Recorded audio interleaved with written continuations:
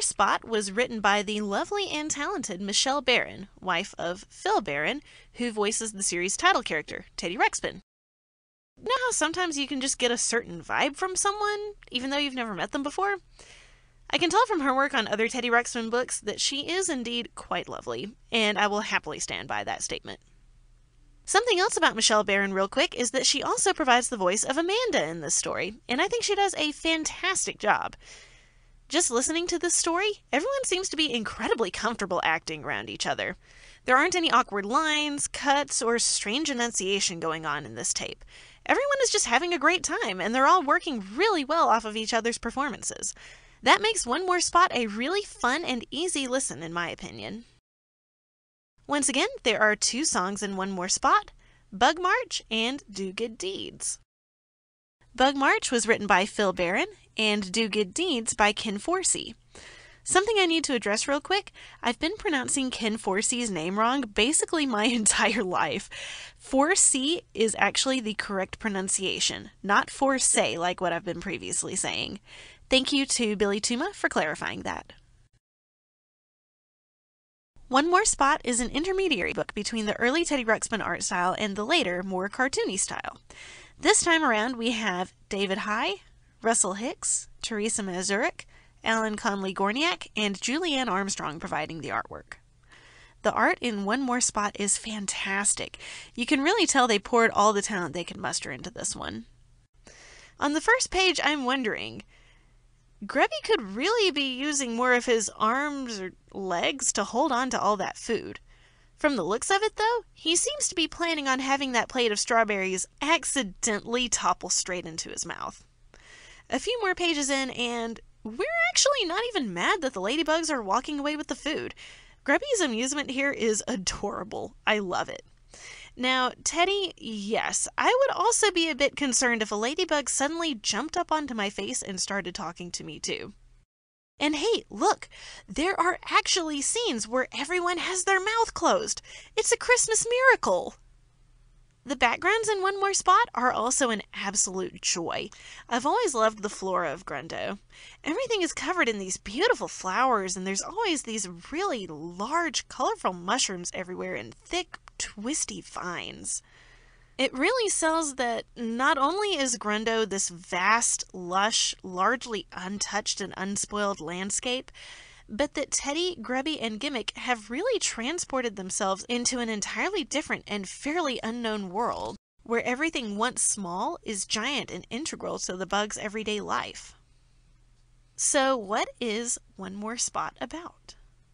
We start off the story with another cold open. Teddy is addressing us, the listener, when Grubby suddenly interrupts. Are you talking about the time we met? Shh, Grubby, let's not give it away yet. Oh, okay. But I can say that it all started with Gimmick. Right. But, Teddy, her name is right here. It's Amanda. It says so on the cover of the book. Is Teddy assuming that we don't have the book? Anyway, after that brief introduction, the story begins. Teddy, Grubby, and Gimmick have decided to go on a picnic, but are interrupted shortly after they find a good spot to eat by a group of ladybugs, who promptly begin picking up the trio's food and walking away with it. Teddy stops the spunky lead ladybug and explains that the food she and her group are walking away with are theirs, and not free for the taking. The ladybug has her troops return the food and apologizes. She introduces herself as Amanda and explains that today is the last day for her to do a good deed that will earn her a new spot on her wings at the bug fair, which is actually about to begin. She got excited when she saw the food and didn't realize that it belonged to someone else, and was thinking that if she took the food to the bug fair, that it would be the perfect good deed to get her a new spot. Teddy, Grubby, and Gimmick, being the nice guys that they are, offer to help Amanda come up with something to get her a new spot. They even offer to help her take their food. But she explains that if they help her, that it won't count. She has to do the good deed all by herself. Amanda is moved by the trio's kindness, though. She's a stranger who literally just tried to steal from them, even if unintentionally, and they want to help her. She decides at that moment to not worry about her new spot and instead repay Teddy, Grubby, and Gimmick's kindness by inviting them with her to the bug fair. Gimmick grabs the portable reducing machine out of the airship and shrinks everyone down to bug size. They pick up as much food as they can and proceed to the bug fair. Amanda introduces them to all of her friends, shows them the bug circus and all the games and contests, and does her best to make sure that they have a great time. The trio can tell that Amanda is sad that she wasn't able to do a good deed in time to get a new spot, but admire the fact that she went out of her way to make sure they had a good time. The bug fair then comes to a close, and the ladybugs who did good deeds are given their new spots. Amanda is sad that she wasn't able to do a good deed in time, but then the Master of Ceremonies suddenly calls her name. He explains to the crowd that even though today was the last day for Amanda to do a good deed and get a new spot, that instead she went out of her way to make three new friends and selflessly take the time to make sure that they had a great day at the bug fair. Because of her kindness to her three new friends, she is awarded three new spots. Teddy, Grubby, Gimmick, and Amanda are overjoyed. And with the bug fair now over, the trio go back to the portable reducing machine and return to their normal size. They say their goodbyes to Amanda, ensuring that they are friends for good, and the story ends. Going back to the music, Bug March and Do Good Deeds are actually two of my favorite Teddy Ruxpin songs. I absolutely love them both. They're not like top 10, but easily in the top 15 to 20 in my book. I think they're both excellent and are definitely earworms. I've actually had both of them stuck in my head for weeks. It's funny, both of my copies of One More Spot are incredibly worn down, and they're actually worn down in almost the exact same spots at the songs. I think I played the songs on this tape way too much when I was a kid. I also think that Bug March has one of the best lead ins to any Teddy Ruxpin song. I love Amanda's command to her troops and the little opening jingle. It's just so lighthearted and fun, and the lyrics are absolutely relatable. I can't tell y'all how many times I've been eating outside and had to shoo away all the bugs that tried to come after my food. Do Good Deeds, like I said before, is another absolute favorite of mine. The melody is catchy, easy to sing along to, and the lyrics are really cute. It drives home the moral of the story and makes for a great wrap up song to end the tape on. Okay, now I know One More Spot isn't the most popular Teddy Ruxpin story, but hear me out. I think this tape easily deserves an A+. It's short, sweet, knows exactly what it's trying to say, and says it well. The moral of the story is simple, and I think that adults to even very young children will easily be able to understand and apply it. Do good deeds. Good deeds are good to do. And doing good deeds will make you feel good and will make other people feel good too. It's all around pure, fun, and wholesome. With that out of the way, though, I do have to nitpick this story a little bit. I only have three issues, but I think they're worth mentioning. First of all, Gimmick is almost completely absent from this story. I mean, he's physically present for everything that happens, but he's strangely quiet throughout the trio's entire trip to the bug fair. He doesn't even sing in either song. What's with that? It's like everyone remembered last minute that there was a third main character and he probably needed to be in the story too. He even has only, what, five lines or something?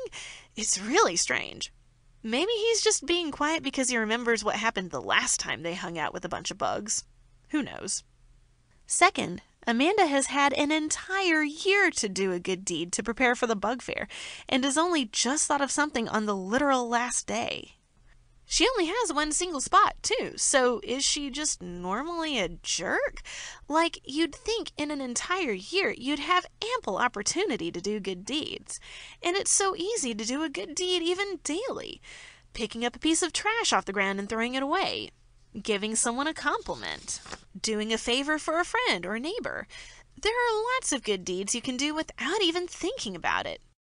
Maybe ladybugs are just really busy surviving that there isn't much time to think about doing a good deed or something. I can imagine that being a bug is pretty rough. There are lots of things out there that can squash or eat you. Or maybe Amanda's just a kid and is still learning how to do good deeds. There's a lot you can speculate about that, I think. Third, I was originally confused about the choice of having ladybugs as the main bugs in the story. Are you about to talk about biology? What? Are you about to talk specifically about invertebrate zoology, which is one of my main interests? Uh, okay, I guess Hubby Octopede is here now. Hi, I'm Sam, and today I'd like to talk to you about ladybugs. Okay, so here we have a bunch of ladybugs crashing a picnic and stealing the food. Generally speaking, it's definitely ants you'd think of doing this, as ants are often generalists with pretty broad diets. Many insects, though, aren't. A lot of insects actually have really narrow diets, to the point that there are entire species that can be best identified based on watching them eat. Like, two species will look identical, but if you see one eating the leaves of this oak tree, it's species A, but if you see one eating the leaves of that oak tree, it's species B.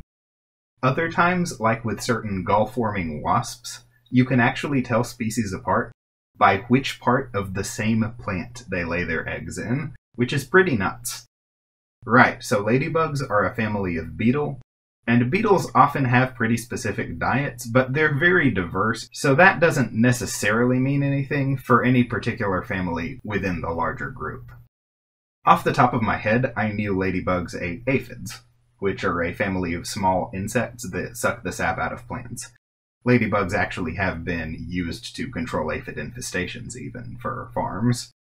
And I was under the impression that they were obligate carnivores, meaning they have to eat a meat based diet, and therefore would be unable to eat fruit, like we see in this image.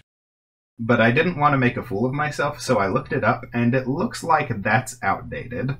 Rather, while their diet is mainly carnivorous and consists mostly of aphids, with some ladybugs even specializing in particular aphids, more recently scientists have started actually investigating the contents of their stomachs and found that they do also eat other things, like pollen, nectar, sap, and fungus. So, what's this mean for the story? Well, here we see some ladybugs carrying away grapes and apples, which seem pretty well outside even the broader understanding of the ladybug diet, as well as, oh hey, is that a mushroom? Because mushrooms are fungi, so that does kind of fit.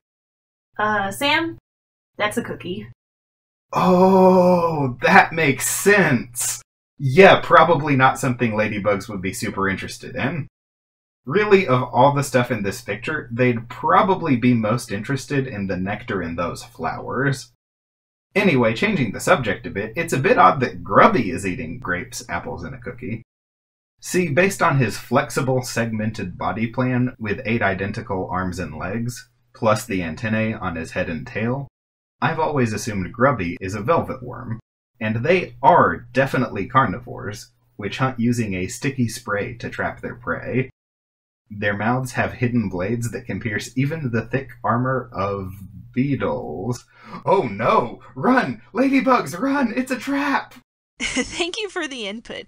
But now that I have that horrifying image of Grubby eating in my head, I think we should end that particular train of thought before it gets too out of hand.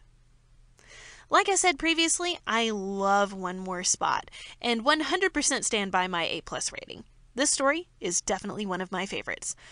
What do y'all think of One More Spot, though? Do you agree or disagree with my rating? As always, I love reading feedback from everyone in the comments. Please like this video if you liked it, and subscribe if you want to see more Teddy Ruxpin stories and reviews. Also, feel free to check out my husband's channel, Omniscient Snails. I'll add a little card in the top right corner of the screen so y'all can get to it easily. Right now, he's doing videos on Sherlock Holmes, the SCP Foundation, and H.P. Lovecraft, and he will be doing biology videos in the future, which I will be appearing in. Thanks again for watching, and I hope y'all have a great day. Bye!